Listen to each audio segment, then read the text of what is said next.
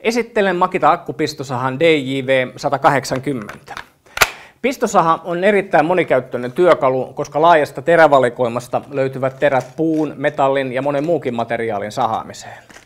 Saha on kompakti ja painoa akun kanssa on vain 2,8 kiloa.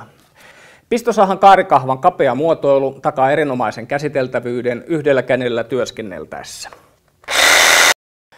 Koneessa on kolme heiluritoimintoa. Mitä enemmän heiluria, sitä nopeampi sahaus, mutta repivämpi sahausjälki koneen puolelle. Kone on varustettu liipasin kytkimellä, joten materiaalin mukainen oikea kierrosluku on helposti säädettävissä näppituntumalla. Sahassa on kätevä terän pikakiinnitys. Alumiininen pohjalevy voidaan kallistaa molempiin suuntiin 45 astetta. Muovinen pohjalevy kannattaa aina pitää paikalla, kun sahataan naarmuntuvia materiaaleja.